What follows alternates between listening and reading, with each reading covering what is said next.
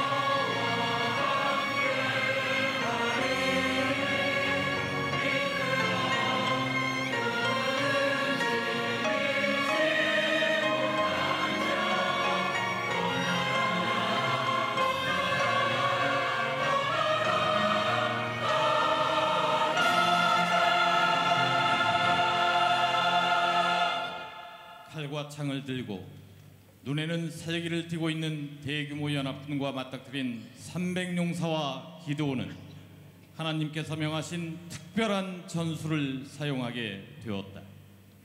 그들은 어두운 밤 적진에 이르러 복음의 나팔을 힘차게 불며 죄악의 빈 항아리를 깨어 부수고 성령의 외포를 높이 지켜들면서 외쳤습니다. 여호와와 기드온의 칼, 여호와와 기드온의 칼. 하나님의 전술은 단지 그것뿐이었습니다.